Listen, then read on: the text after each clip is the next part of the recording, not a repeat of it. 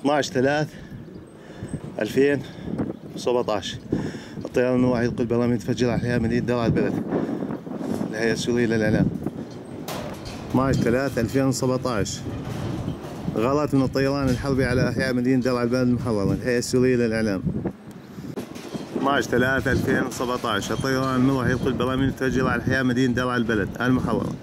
الهيئة السورية للإعلام